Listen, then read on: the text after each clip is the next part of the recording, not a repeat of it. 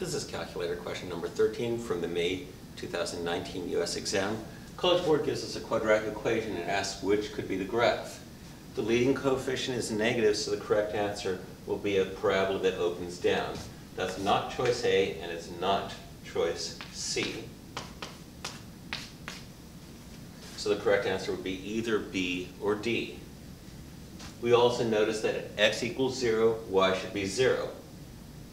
For b, at x equals 0, y is 4, which is not 0, so b is wrong.